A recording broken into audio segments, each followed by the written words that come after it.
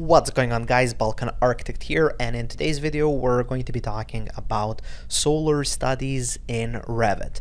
Uh, more specifically, I'm going to be showing you how to create a solar study uh, within the new Revit 2023. So with the latest release of Revit we have uh, some new solar study features, a whole new kind of dialogue and approach to creating solar studies which I think is really powerful. So I'm just going to be showing you how to how to create these solar studies. Uh, if you want to learn more about the rest of the new features of Revit 2023, uh, you can see my full video by following the link up in the cards above. Uh, now, before we jump into the actual tutorial, I would just like to take a moment to ask you to check out my website, balkanarchitect.com. I'm going to link it up just below this video in the description and then also up in the cards above. Uh, that's where I host all of my Revit courses. I have over 36 hours of content and I'm adding more each uh, month. So there's pretty much something there for everybody. I go slowly step by step and cover all of the complex topics uh, in Revit. Uh, also there you can find some of my Revit templates. Uh, you can find some really high quality Revit families as well as a plugin. So make sure to check it out. Uh, okay now without any further ado let's jump straight into Revit. Now here you can see I'm going to be using this project file. This is just a simple single family home. I, I, created this in one of the courses on my website, so I'm just going to be using this model as reference, uh, or kind of as a, as a working model. Uh, so the first thing that you want to do for creating a solar study uh, is to make sure that the shadows are turned on. So if they're turned off like this, you make sure to turn them on. Uh, so once you have done that, let's now go straight here to the little sun icon. You click on that, and here you have multiple options. So the first thing that I like to check is the sun path on. So once you check that, uh, here Revit is going to ask you, do you want to use specific project location, date and time instead? I'm just going to go with the current settings and then we can talk about that later on. Uh, so here you can see we just get this kind of looks like a compass. We don't really get much and we don't really get the sun. So we're going to see that in a minute now. So the next step is to go to the solar study. So this was not available before, it is available now with the latest release in Revit. And when I click on that here on the ribbon, you're going to see we have a solar study tab. And here we can see uh, kind of the solar study uh, tools. Uh, now here, uh, let's go first into the study type so I can explain like what are some of the options that we have here. And the first option or actually it's the last option, but it was the default option here, is the uh, lighting study type. So what this allows you to do is to kind of manually set up both the altitude and the azimuth of the sun, uh, and you can kind of play around uh, with the shadows. Uh, now, I wouldn't use this too much, perhaps for some conceptual projects, I don't know, some like um, student work, uh, but it does not give you kind of the accurate um, sun position, so I wouldn't use this uh, lighting option too much. Uh, okay, then after that, uh, here we have the still image uh, study type. So once you check this on, here you will see that you have the option to set up the date as well as the time, and then Revit is going to kind of give you the actual sun position for that date and time.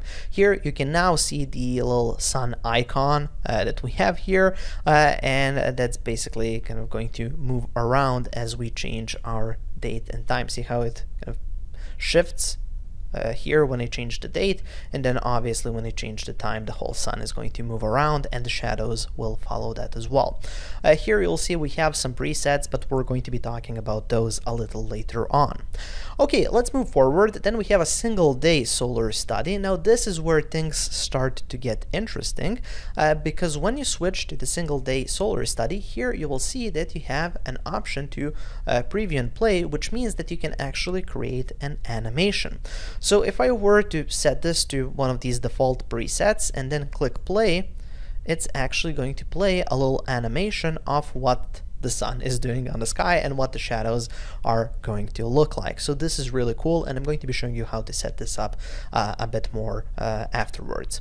Uh, and then obviously we have a multi-day solar study. Now this is uh, mostly to kind of give you the let me see here yeah see how uh, you have two of these paths so this is basically showing you uh, if you want to perhaps take a look at how the sunlight is going to be different. Let's say uh, you want to see sunlight at 1 a.m. or at 1 p.m.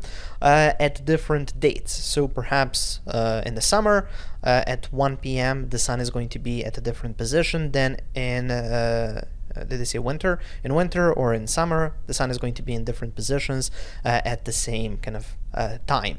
So that's just something that you can kind of see here as well, which I think it's a it's a really cool uh, study. And then you can kind of play like how the sun uh, is is going to look like there. So, anyways, let me just kind of stop this. Hopefully.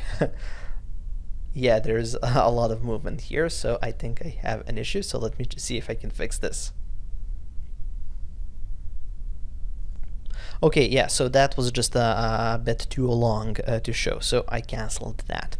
Okay, anyways, uh, so that's what we have uh, in terms of these options here. Uh, and then for the play buttons, uh, you'll see here we have the option to kind of jump to next frame or go to the previous frame. Now, in this case, we don't really have too many frames. We only have five frames, so uh, that's not a lot. But if you were to have more frames, and I'm going to be showing you how to set those up later on, this basically shifts like one frame and then these jump 10 frames. So the, those are kind of the differences between these two uh, buttons. And then this just plays the preview just kind of a quick uh, quick preview. Okay let's see I don't know. Yeah so this is just going to give you a quick animation and if you go play in loop it's just going to loop that around uh, until you kind of press it again and stop that Okay, so we have covered this, and now let's go here. We have the option to cover the speed, so we can kind of set up the speed at which this is going to kind of play out. Uh, and then we have the sunlight intensity. So uh, the sunlight intensity doesn't really show here because we're in the hidden line uh, visual style. Uh, the shadow intensity is going to change. See how the shadows become lighter or darker depending on this uh, slider. Uh, however, if I were to change this to realistic, uh, what you'll see that on realistic, the sunlight intensity does make a, a big difference in the way that this uh, model is kind of lit up. Uh, so uh, sunlight intensity only makes sense if you're viewing this uh, in a realistic view mode. If you're in hidden line, doesn't make too much sense. So just something to keep in mind.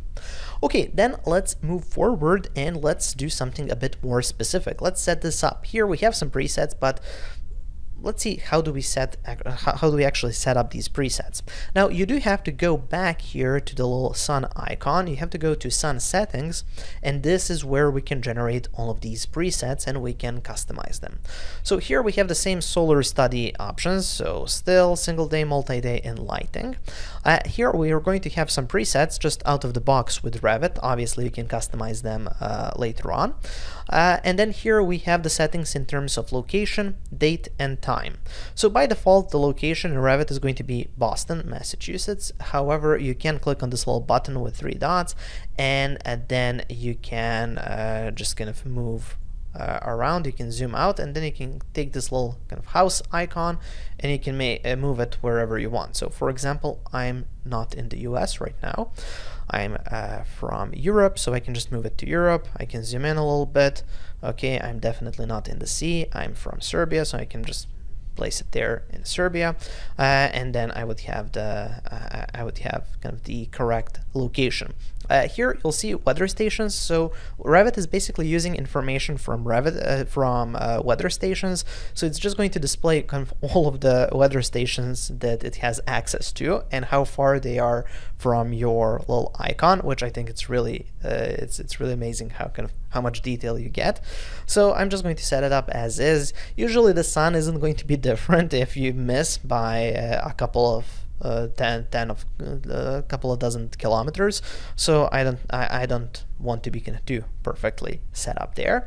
Uh, then we have the date. Obviously you can set up the date whatever you want to be. This is 2010 which is kind of odd. So we can just gonna skip ahead and you can just pick out any date that you want, or you can just type it in here. So I can say 22 or something like that and then here I can set the time. So for the time you have the option to kind of specify the beginning and the end or what I like to do is check from sunrise to sunset. So our solar study is going to start at sunrise and stop at sunset, which is here from 4 a.m.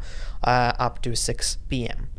Uh, then we have the frames and you'll see that it's grayed out because uh, you basically determine the frames by the time interval. So if I say I want one frame for each kind of 15 minutes that pass, uh, it's going to have 57 frames. If I want every one hour, then it's 15 frames. Obviously I want more, so I'm just going to set it up to 15 minutes, which gives us 57 frames. And then, uh, this is really important, I like to uncheck the ground plane at level uh, because what this does is if I hit apply, uh, you know that ugly shadow that you get below your topography, you're not going to get that if you check the uh, this ground plane at level option. So if this was checked on, uh, you might get that shadow below. I don't know why it's not visible now. Perhaps in hidden line or something. Yeah, see here how we have this shadow below the topography, which kind of doesn't make sense. So I can just turn that off here just like that and now it looks much more realistic okay so now uh, once we have set this up here in the sun settings so I think I have set up the summer solstice solar study Obviously, you, don't want to use the presets, you want to create a new one. In this case, I kind of messed up the, the original one. That's okay, I'm just going to leave it as is. Uh, now, here you're going to see we have those 57 frames. We can kind of move around those frames. If I use the uh, previous keyframe, it's going to jump by 10 seconds, as I said. See here how it jumps, or sorry, 10 frames. See how it jumps by 10 frames? Or you can go next frame, previous frame, or you can kind of play the little animation from sunrise to sunset. Uh, so those are basically the settings uh, that we have uh, for creating our solar studies. Uh, now another thing to mention, which I think is really important, uh, is that for these solar studies, you don't have to have like an exterior 3D view. I think these are uh, really important when it comes to interior views, because what you can do is you can go to one of the floor plans like so, and then you can create, oops, not that, and then you can create a little camera view like this. And then you can create a solar study. So I can just go here, sun path on. Uh, okay, I can make sure that the shadows are turned on. And then I can go to solar study. And what you'll see now is let's go to single day and let's use the, did we use this one? Nope this one. No, it was this one, okay. And now if I play, it's just going to show me what that looks like kind of in the interior of the building or of the house. Uh, so I think this is really important. This is really powerful because that kind of determines your interior design and organization and window position and, and so on. So I think this is uh, this is really powerful. Uh, and of course, when you're doing these interior views, make sure to go to graphic display options and turn on the ambient shadows, it makes things look so much better. So just something kind of uh, uh, something else to, to do. Okay, anyways, so that's basically how you create these solar studies. Uh, now, once you're done, uh, you can show it to your client like this inside of Revit, and then you can uh, see this is what the sun will look like throughout the day and so on. Uh, but you can also export a video and then send that to your client. So what you can do is you can go here to this view, you can set up the crop region. Let's see. So let's crop it a little bit better. Let's see what's going on.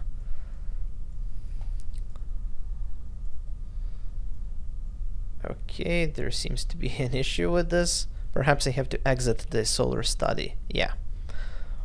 Okay, so now I can crop this a little bit. And I can create a view that kind of that I'm, I'm, I'm happy with. Uh, and then what I can do is I can go back here to solar study. So I can check all of the parameters, everything looks okay. So now I can go here to file menu, I can go to export go down and go to images and animation and one of the options is the solar study. So when I check the solar study or click on the solar study here we have the option to can export a video and then I can select all frames or just a few frames. So I'm just going to go with all frames. Here we have the frames per second. So you can see that this even though it has 57 frames it's only going to last 4 seconds or it's going to play for 4 seconds uh, now I don't like that I like my animations to be a bit longer because a 4 second video you're just gonna click and it's done so I like to bring this way down so we can have a longer video. So for example, 3 frames per second gives us a 19 second video, and this is kind of starting to look okay. Uh, then you have the format, so here uh, we can zoom to, and then we can say 100% of actual size. Uh, okay, that's that's a lot. that's a lot of pixels. I think it's because we've set this to 1 to 50, so let's go back to 1 to 100. Yeah, I don't want this to be too large. So anyways, let's get back here. Okay, all frames, I said this, I want to be at 3. Oops. Don't hit enter, that's that's something to, that, that's another tip. So, okay, so I said this one I want to be at 3. Uh, zoom to 43% or what will happen if I go to 100? Okay, that's okay. So hidden line, everything looks correct, so I can say okay. Uh, then uh, you can save it wherever you want. I'm just going to save it on my desktop, and uh, it's going to give me an option for video compression. I can just leave it uncompressed and click OK, and now it's going to render that. And once we're done, uh, this is the uh, video that we have. So I'm just going to hit the play button and there we go. So you can see that uh, we have our little animation. Uh, it is a bit slower, as I said, because I've set this to three frames per second. actually, I like this pace because it kind of gives you time to understand what's going on. So I actually prefer it uh, this way. So there we go. Uh, if you want to download this uh, Revit model, you can find that on my Patreon page. I'm going to be including a link uh, just below this video in the description and then also up in the cards above. Thank you for watching, guys. Make sure to check out my website, balkanarchitect.com, for more uh, Revit courses. Uh, there I have over 120 hours of content, uh, and I'm adding more each week. Make sure to subscribe Eh, for more videos and also I've added a video over there that might interest you as well.